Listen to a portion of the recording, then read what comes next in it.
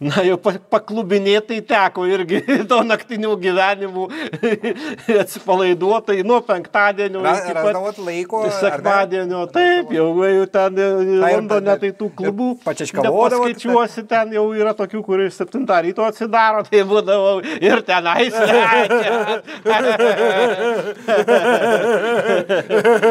Aišku, pabandžiau visokių tų narkotikų, bet nu, visą laimę, kad nesu durnas, nu, debilas, bet nesu durnas, neužsikabinau ne ant vieną. Na nu, ir aišku, ten tų merginų pačiškavodavom.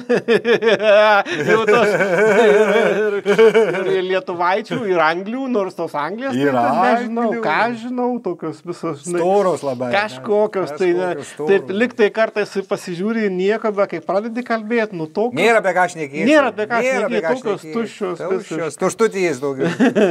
Influenceriai daugiau. Tai vieną dar tokią prisiminiau, dabar kaip tik buvau vakabinės klube.